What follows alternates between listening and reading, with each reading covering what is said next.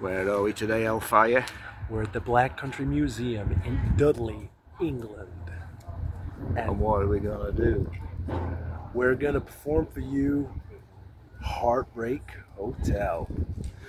Well, since my baby left me, I found a new place to dwell. It's down at the end of Lonely Street. That's Heartbreak Hotel. I feel so lonely. I feel so lonely. I feel so lonely. I could die. Who were we today, Hellfire? Well, as we're actually performing this, we had not quite figured out a name, but by the time this video goes out, it'll be there.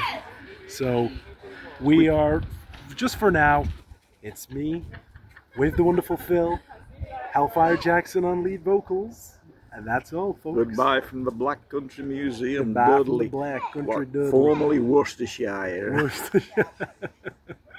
bye bye.